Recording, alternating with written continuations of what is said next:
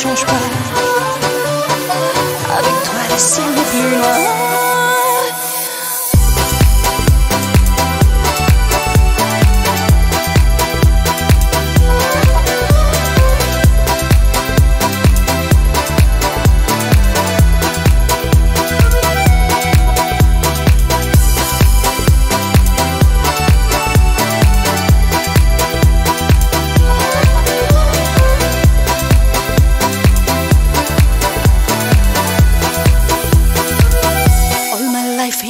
ghosted.